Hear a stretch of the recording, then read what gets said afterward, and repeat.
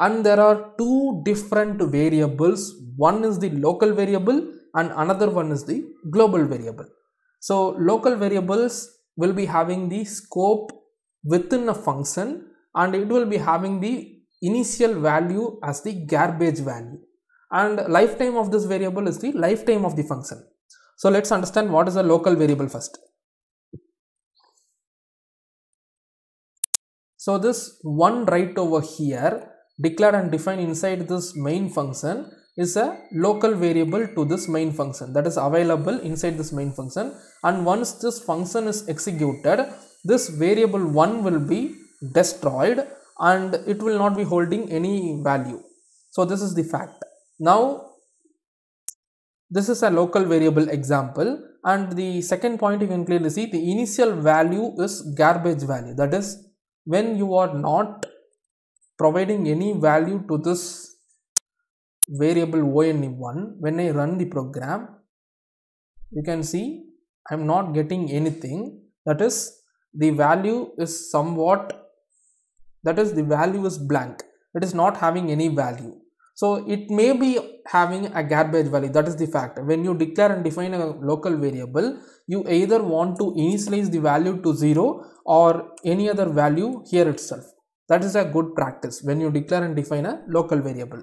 And when I put this line above the main function this variable is nothing but the global variable.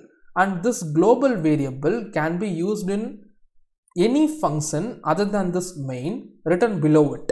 So this is the advantage of using a global variable.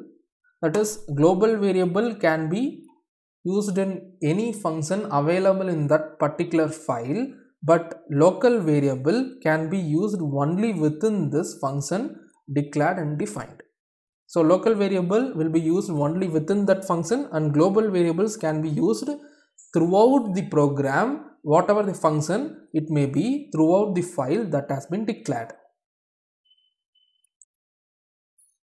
And that's all about the local variable and going to the global variables within the program even can be used in other functions declared inside the program or even to the other files when you extend the scope of this global variable to that files and initial value of this global variable will be 0 even if you are not initializing it and lifetime of this variable is lifetime of the program. So these are the two different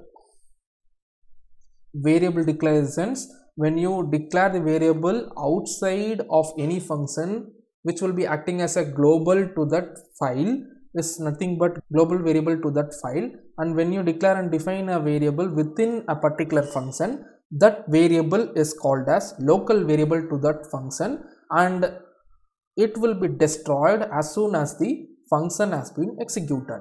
But the scope of the global variable is the scope of the program. Until the program is complete this global variable will be alive.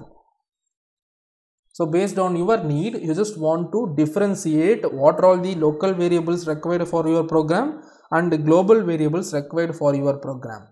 So for performing a simple calculation inside a function you can use a local variable. But for holding and using that variable values in different functions we just want to declare that variable as global variable uh, so that you can use those variables in various functions.